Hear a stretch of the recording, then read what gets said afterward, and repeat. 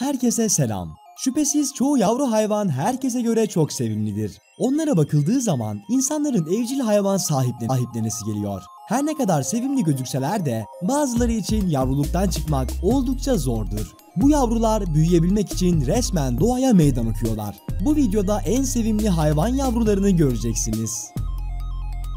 Kaplumbağa şu anda yaşayan birkaç deniz kaplumbağası türü vardır. Fakat hepsinin ortak özellikleri var. İlk olarak suda yaşarlar ve ikinci olarak benzer bir üreme dizisine sahiptirler. Deniz kaplumbağaları yumurtalarını bırakmak için plajları ve alt kumları kullanırlar. Genellikle geceleri ve gelgit çizgisinden uzakta yaparlar. Çoğu dişi her 3 ila 4 yılda bir yumurta bırakır. Kaplumbağalar üreme süreci hakkında çok düşüncelidir. Yumurtlama işlemi yaklaşık 100 yumurta içerebilir ve kuluçka süresi 2 ay kadar sürebilir. Küçük kaplumbağalar yumurtadan çıkar ve hemen suya koşarlar. Ne yazık ki hepsi hayatta kalmaz. Bazı bebekler suya giderken kuşlar tarafından avlanarak ölürler. Deniz kaplumbağaları bile kendilerini güvende hissedemezler. Bilim adamları bin bebekten sadece 15-20 tanesinin yetişkinliğe ulaştığını ve yavru üretebileceğini tahmin ediyor. Bunun sebebi yırtıcı balık ve insan faaliyetidir. Bazı kaplumbağalar genellikle yengeç avcılarının ağlarına takılırlar ve ölürler.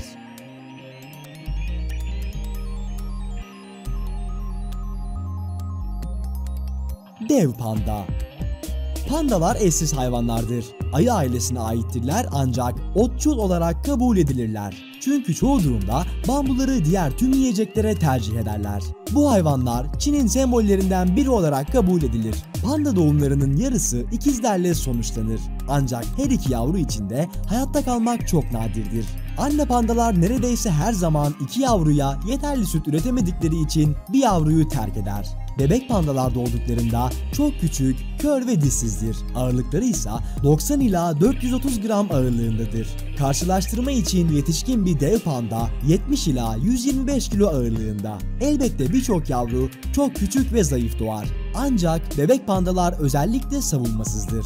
Diğer tüm ayı yavruları bebek pandaların aksine yeterince güçlü doğarlar. Boyutlardaki bu büyük farkın arkasındaki sebebin ne olduğu bilinmemekte. Pandalar esaret altında üremeye pek istekli değildir ve bu nedenle yeni doğan yavruları incelemek oldukça zordur.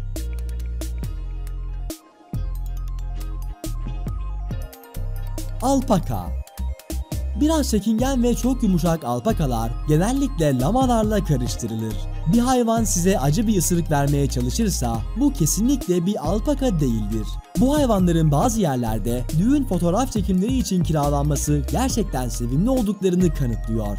Bu büyüleyici yaratıktan daha çekici ne olabilir diye düşünüyorsanız tabii ki yavrusu. Alpaka hamileliği ortalama 11,5 ay sürer. Doğumdan yaklaşık yarım saat sonra bebek alpakaları kendi başlarına durabilir ve doğumdan 2 hafta sonra anne alpaka yeniden üremeye açıktır.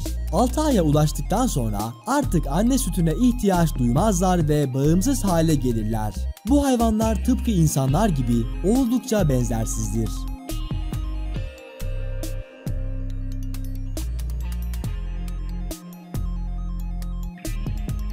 Deniz atı Videonun başında sevimli hayvanlar hakkında konuşacağımızdan bahsettik.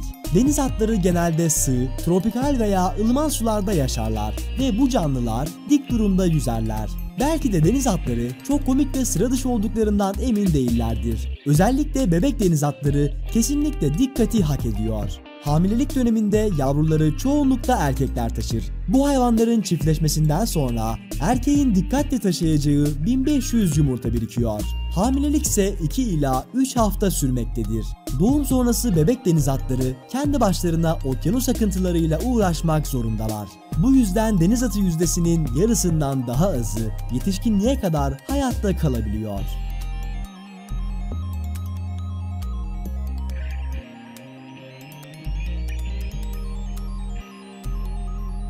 Zürafa bu hayvanların hamileliği 400 ila 460 gün sürer.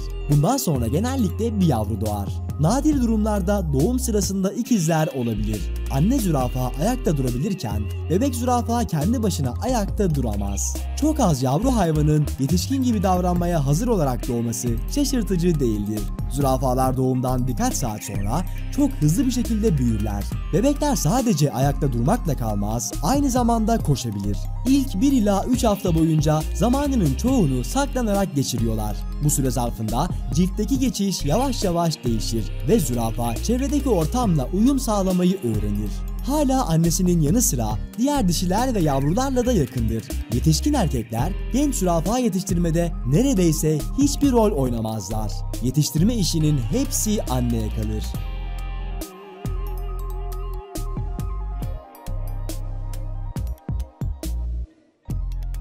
Tembel hayvan Muhtemelen bu videodaki en tuhaf hayvan tembel hayvandır. Hiç gerçekte onları gördünüz mü? Hayatlarının çoğunu baş aşağı ağaçlardan sarkarak geçiriyorlar.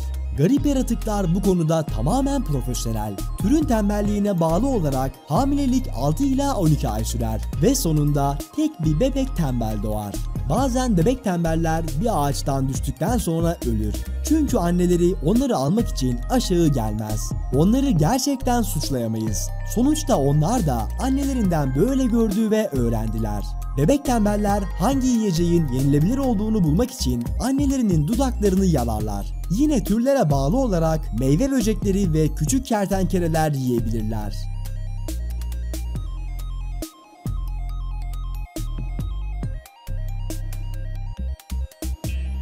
Koala Pandalar Çin'in sembollerinden biridir. Koalalarsa Avustralya'nın sembollerinden. Ayı ve wombat karışımına benzeyen bu garip otoburlar bazı peluş oyuncaklara benziyorlar. Koalalar tüm dünyada popülerdir. Ancak çok az kişi koalaların nasıl doğduğunu biliyor.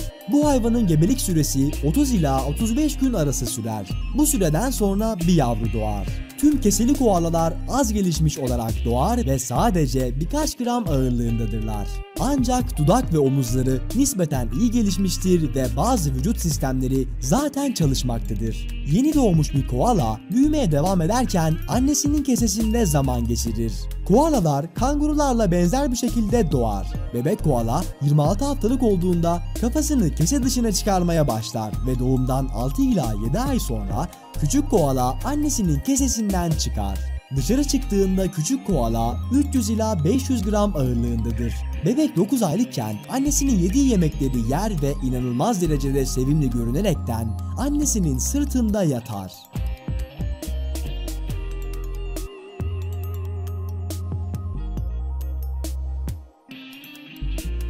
Semender eğer fantezi kitapları okumayı seviyorsanız Semender'i muhtemelen duymuşsunuzdur. Semenderler kertenkelelere benzeyen amfibilerdir. Çoğu oldukça sıkıcı bir görünüme sahiptir ve eğer yakınlarda bir yerde koşarsa bir semenderi görmemeniz pek olası değildir. Gezegenimizdeki diğer birçok hayvandan farklı olarak semenderler hem yumurtlayarak hem de normal bir şekilde doğururlar. Tabii bu türlerine göre değişiyor. Modern teknolojiler sayesinde küçük semenderin oluşma sürecinin tamamını şu an izleyebilirsiniz. Tüm bu gördükleriniz okulda öğrendiğiniz hücre bölünmesi.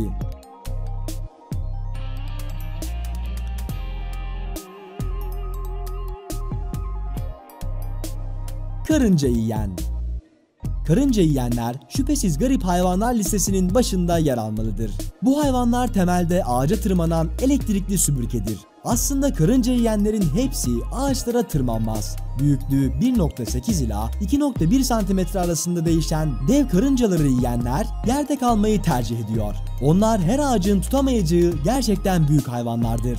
Dişi karınca yiyenin hamileliği yaklaşık 190 gün sürüyor. Bundan sonra genelde bir yavru doğar. Diğer birçok bebek hayvan gibi kör doğarlar ve sadece bir hafta sonra gözlerini açarlar. Hayatlarının ilk ayında yavrular sütle beslenir.